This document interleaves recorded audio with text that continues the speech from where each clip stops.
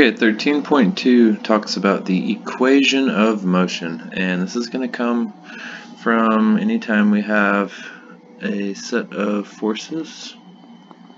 So some force 1, some force 2 maybe, and that's going to lead to some acceleration.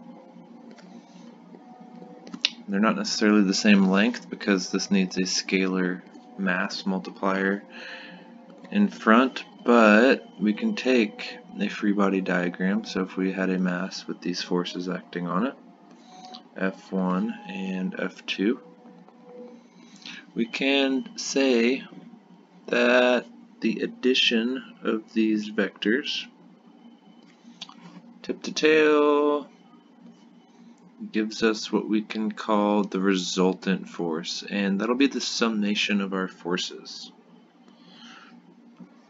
and vector sign, vector sign, vector sign, vector sign, vector sign. Okay, um, and this would be called a free body diagram. You should be very familiar with those.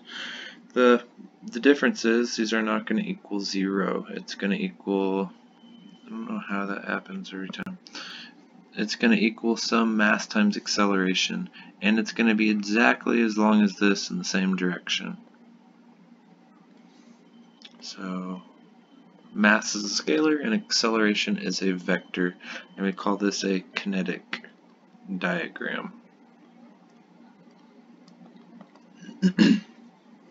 okay, so this gives us our equation of motion. The equation of motion is when we sum up all those forces, it equals some mass times acceleration, and you'll see in the future and in uh, analysis of dynamic systems, you'll have things, if you remember the acceleration in the x direction, we can call x double dot, the velocity in the x direction is x dot, and the position would just be x. Well, we can have things like x double dot, a function of x dot, and a function of x, and maybe some constant. These will be only solvable by a differential equation. We're not going to have to worry about those just yet.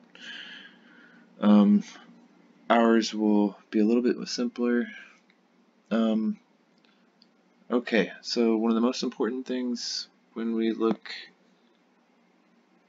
at kinematics, or sorry, kinetics, is that we use an inertial reference frame. What does that mean? So imagine someone standing here. Um, they could be looking at some particle on a path. This reference frame can be moving with some velocity, but it has to be constant. It cannot be accelerating. And so when applying the equation of motion, it is important that the acceleration of the particle be measured with the respect to a reference frame that is either fixed or translates with a constant velocity.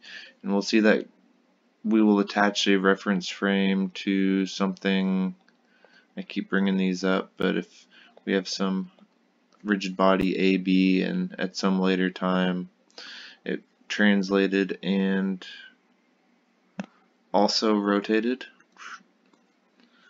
this will be our translating point. So in that case, it translated to that point with some constant velocity.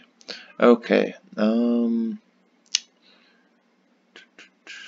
we call this inertial reference frame, you might see it as a Newtonian or inertial reference frame.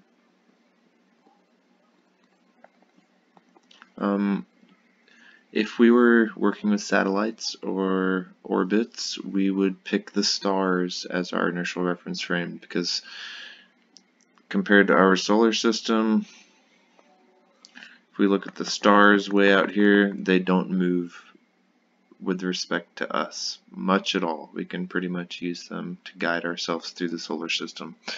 Outside the solar system, we would have to triangulate stars different. Um, and in a more complex method. If we are on the surface of Earth, though, we can consider Earth itself. a reference frame for most of our cases. So if we have a projectile motion problem, uh, we can almost typically ignore the rotation of Earth and the movement of Earth through space. There is a thing called the Coriolis effect, and I will go over that, and that it does have to do with the rotation of the Earth affecting where the trajectory will land. Um, but in general, we do not need to account for that rotation. Um,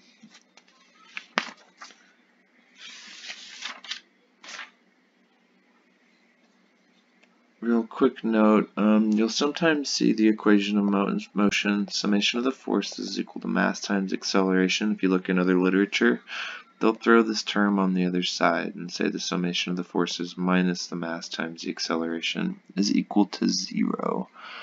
Um, they refer to it as an inertia force vector get used to the wording, but I'm not going to be doing that. Um, I believe analysis of dynamic systems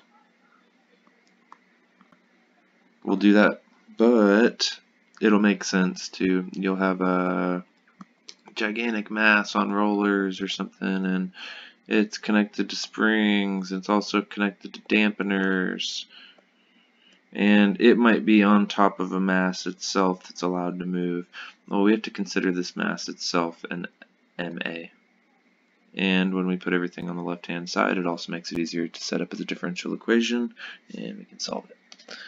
Um, okay, I just wanted to talk about inertia real quick. Um, the best example of this, uh, the book talks about a guy in like a rocket sled. He's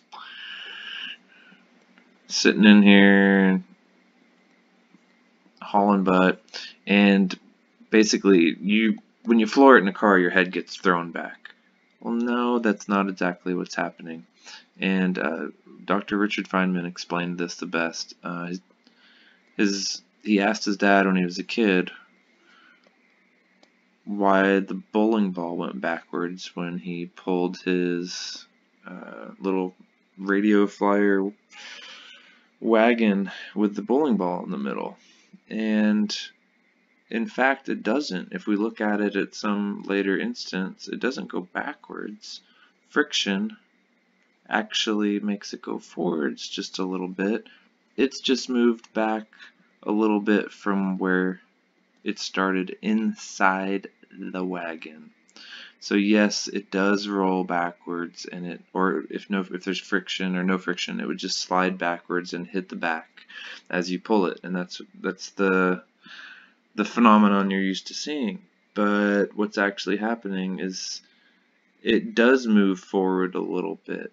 Friction's pulling it forward and but with respect to the inertial reference frame of the cart itself, it's moving directly backwards. If you stood far enough away and viewed this